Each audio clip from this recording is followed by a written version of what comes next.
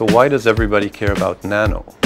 First of all, we're talking about making things smaller. We can already see our cell phones becoming much smaller. All this is around very vigorous activity that is being done here. Nano is changing our lives in ways we can't even imagine. We have a lot of activities in energy, in nanotechnology for human health.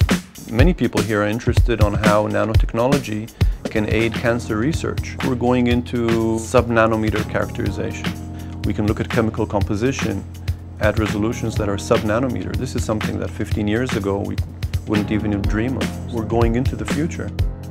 We have wonderful equipment here, but more than that, we have wonderful people who are doing great research. The Institute now is comprised of 46 research groups. We have researchers that are experts, cutting edge in their research areas. It's all about fulfilling our curiosity. We're curious people. We ask a lot of questions and we have all the tools for answering these questions around issues concerning nanotechnology. And we're all working together here for a better future and a better world.